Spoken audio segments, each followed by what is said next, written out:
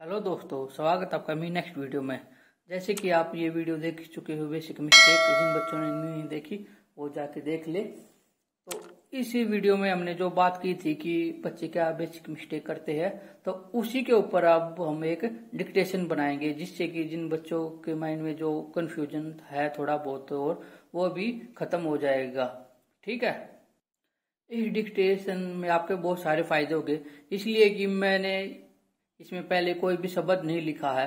पहले मैं शब्द बोल लूँगा फिर उसको लिखूँगा और फिर उसकी आउटलाइन बनाऊँगा। अगर मैं पहले से ही लिख लेता तो आप जो बच्चे मिस्टेक करते आ रहे हैं कि उन शब्दों को पहले ही देख के आउटलाइन बना सकते थे। तो इसलिए पहले मैं उस शब्द को बोल लूँगा और फिर उनकी आउटलाइन बनाऊँगा, जिससे कि आपको पता चल जाएगा कि आप कहाँ गलती कर रहे हो। तो चलिए शुरू करते हैं। आदरणीय सभापति जी। अब आप के माइंड में छप गया आदरणीय सभापति जी। तो इसकी आउटलाइन अब आप वीडियो को रोक के बना भी सकते हो और ये ऐसे बनेगी।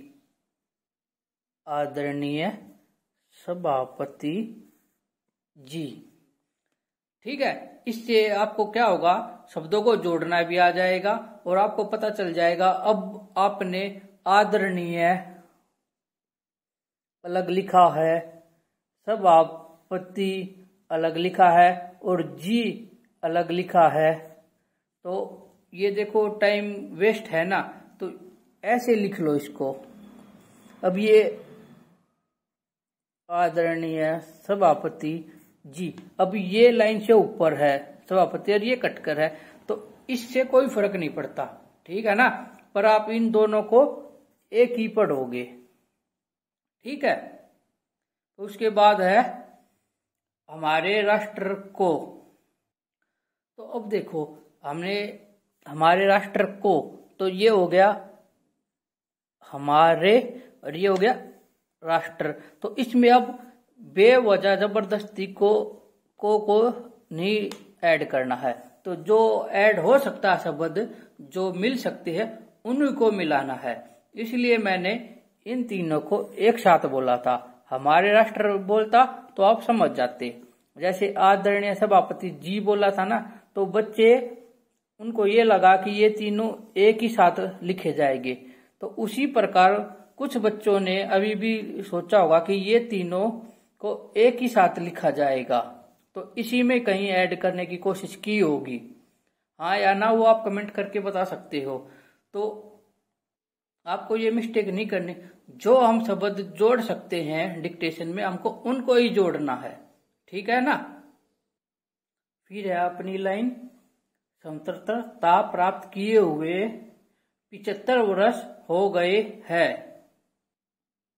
तो आपकी है ना, सोचने की और समझने की शक्ति इतनी होनी चाहिए कि जैसे कि एक लाइन बोल ली। एक तो आपको ये लाइन याद होनी चाहिए, रहनी चाहिए।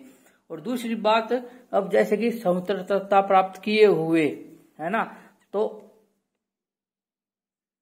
स्वतंत्रता प्राप्त किए हुए, है ना? अब पिचहत्तर आप ऐसे लिखोगे, जैसे लिखा ना अंकों में, ऐसे लिखोगे, पिचहत्तर वर्ष ये ये हो गया, वर्ष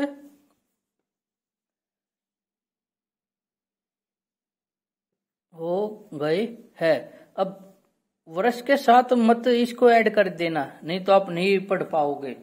हालाँकि अब जब लिखोगे आप इस टाइम आपको एक दो मिनट मैक्सिमम याद रहेगा। पर इसको जब आप आओगे पूरी डिक्टेशन लिखकर, आप इसको ट्रांसलेट करोगे, उस टाइम तक आप इसको भूल जाओगे। तो इन चीज़ों को, जिस चीज़ों को जितना सिंपल रखा जाए, उतना ही अच्छा है। तो ये आपको बेसिक ज्ञान होना चाहिए, किन शब्दों को आपको जोड़ना है और किन शब्दों को एज इट इज़ अलग अलग रखना है। ठीक है ना? तो मिलते हैं अब नेक्स्ट वीडियो में। तब तक के लिए बाय बाय